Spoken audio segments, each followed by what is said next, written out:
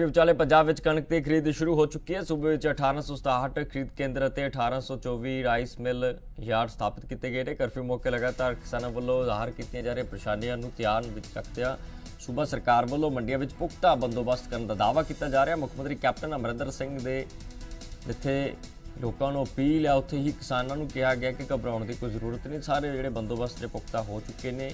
ਸਾਰੇ ਕਿਸਾਨ ਅਤੇ ਮੰਡੀਆਂ ਵਿੱਚ ਜਿਹੜੇ ਕੰਮ ਕਰਨ ਵਾਲੇ ਲੋਕ ਨੇ, ਉਹਨਾਂ ਨੂੰ ਅਪੀਲ ਕੀਤੀ ਹੈ ਕਿ ਮਾਸਕ ਪਾ ਕੇ ਕੰਮ ਕੀਤਾ ਜਾਵੇ। ਸੋਸ਼ਲ ਡਿਸਟੈਂਸਿੰਗ ਤੋਂ ਇਲਾਵਾ ਬਾਰ-ਬਾਰ ਹੱਥ ਧੋਣ ਦੀ ਅਪੀਲ ਕੀਤੀ ਗਈ। ਸੀਐਮ ਕੈਪਟਨ ਅਮਰਿੰਦਰ ਸਿੰਘ ਦਾ ਦਾਅਵਾ ਹੈ ਕਿ ਇਸ ਸੰਬੰਧੀ ਉਹਨਾਂ ਵੱਲੋਂ ਮੰਡੀਆਂ ਵਿੱਚ ਜ਼ਰੂਰੀ ਪ੍ਰਬੰਧ ਹੋ ਚੁੱਕੇ ਨੇ। ਇਸ ਤੋਂ ਇਲਾਵਾ ਕਿਸਾਨਾਂ ਨੂੰ ਲੋਕਡਾਊਨ ਅਤੇ ਕਰਫਿਊ ਦਰਮਿਆਨ ਰਾਹਤ ਦੇਣ ਲਈ ਪੰਜਾਬ ਸਰਕਾਰ ਨੇ ਅਹਿਮ ਸਮਝੌਤਾ ਕੀਤਾ ਪਰ ਦੂਜੇ ਪਾਸੇ ਆੜਤੀਆਂ ਦੀ ਹੜਤਾਲ ਦਾ ਮੰਡੀਆਂ ਵਿੱਚ ਕਾਫੀ ਅਸਰ ਵਿਖਾਈ ਦੇ ਰਿਹਾ ਵੱਖ-ਵੱਖ ਤਸਵੀਰਾਂ ਤੁਹਾਡੇ ਸਾਹਮਣੇ ਨੇ, ਜੋ ਵੱਖ-ਵੱਖ ਜ਼ਿਲ੍ਹਿਆਂ ਤੋਂ ਨੇ, ਕਿਸਾਨ ਪਰੇਸ਼ਾਨ ਨੇ, ਕਣਕ ਦੀ ਖਰੀਦ ਸ਼ੁਰੂ ਹੋ ਚੁੱਕੀ ਹੈ। ਪਰ ਸਰਕਾਰ ਕਹਿ ਰਹੀ ਹੈ ਕਿ ਪਰੇਸ਼ਾਨ ਹੋਣ ਦੀ ਜ਼ਰੂਰਤ ਨਹੀਂ।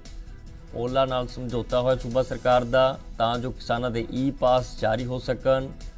ਜਲੰਧਰ ਦੀ ਵੀ ਤੁਹਾਨੂੰ ਰਿਪੋਰਟ ਦੱਸ ਰਹੇ ਹਾਂ ਕਿ ਬੰਦੋਬਸਤ ਜਿਹੜੇ ਨੇ, ਉੱਥੋਂ ਮੰਡੀਆਂ ਦੇ ਵਿੱਚ ਪੂਰੇ ਹੋ ਚੁੱਕੇ ਨੇ। ਮੋਗਾ ਦੀ ਵੀ ਤੁਸੀਂ ਟੀਵੀ ਸਕਰੀਨ ਤੇ ਦੇਖ ਰਹੇ ਹੋ ਕਿ ਹੜਤਾਲ ਹੋ ਚੁੱਕੀ ਹੈ। ਆੜਤੀਆਂ ਵੱਲੋਂ, ਪਰ ਸਰਕਾਰ ਐਕਸ਼ਨ ਮੋਡ ਦੇ ਵਿੱਚ ਹੈ।